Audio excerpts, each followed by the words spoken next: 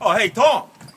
I better not catch you moving this folding chair. I shoveled that parking space out there for my car, not your old lady. I catch you moving this, I'm calling Comcast, telling them about you stealing at HBO. Huh? How you like that?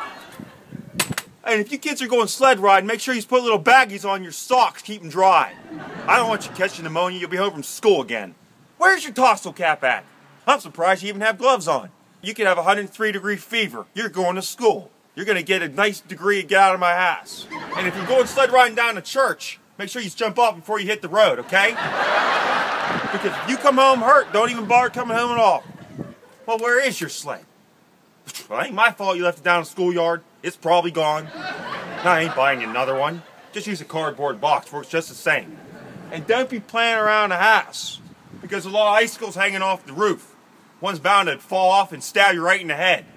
Now don't be picking them off and licking them, eating them. They're filthy. Hey, Paul. You ever think about maybe shoveling the walk of yours? Putting some salt down on it so, so people ain't ice skating over there. If I want to go skating, I'll go down Civic Arena. The other day, I seen your old lady come down the steps almost eat it. This is how the neighborhood works, Tom. Either love it or leave it.